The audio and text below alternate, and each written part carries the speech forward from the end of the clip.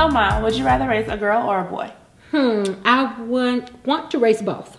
Okay. But who's your favorite? Both. So was it easier to potty train a girl or a boy? Hmm, potty training a girl or a boy? Definitely a boy. What? Yeah. That's usually the hardest. Brianna.